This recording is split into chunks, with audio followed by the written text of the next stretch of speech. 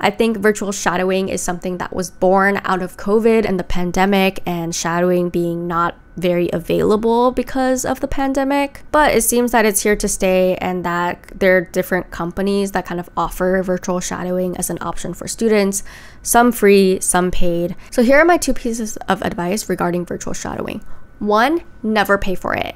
Do not pay for virtual shadowing, it is not worth it. And two, you probably can't get away with only virtual shadowing.